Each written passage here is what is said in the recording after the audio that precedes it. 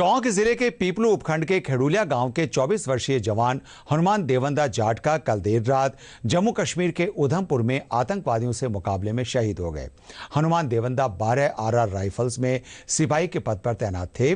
शहीद जवान का पार्थिव देह कल उनके गाँव पहुंचेगा, जहाँ सैन्य सम्मान के साथ अंतिम संस्कार किया जाएगा। शहीद की सूचना मिलने, मिलते ही गाँव में शोक की लहर दौड़ गई। मेरा चाचा जी का लड़का ही था।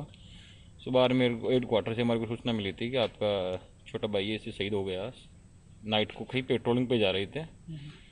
तो अचानक कहीं से टेररिस्टों का अटैक हुआ था और जो अभी कार्रवाई भी की थी और मिलिट्री हॉस्पिटल में इनका इलाज भी चला था और कल सुबह तक शहीद हो गए देश के लिए। और उसके बाद में क्या परिवारजन में काफ़ी दुख भी हो रहा था। खाना वाना नहीं खाया सुबह से परिवार वालों ने। तो छोटा भाई ये रामफूल उससे तो बड़ा है। वो अचानक सीने के अंदर पेन होने लग गया, घबराहट सी होने लग गई तो यहाँ टोंक हॉस्पिटल में लाए अभी हम लोग।